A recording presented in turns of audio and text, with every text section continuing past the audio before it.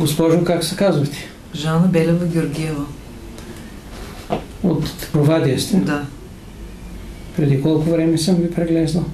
Ами, юни месец. Юни минал- месец. Миналата година. Как бяхте преди да дойдете тук? О, много зле бях. Зле. Много. Какво усещахте? Еми нямах сила.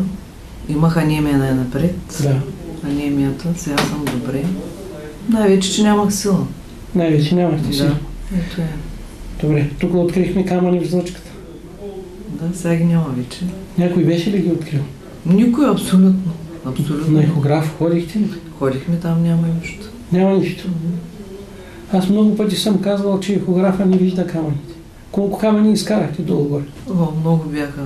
Те най-различни. Два пъти правихте рецептата. Два пъти пречистването. Какво стана сега след тия рецепти? Как се чувствате? Е, добре съм. Много добре. Разликата? Огромно. Сили, енергия? Добре, добре. Много. В Добре. сравнение с миналата година. Благодаря ви много. И аз благодаря.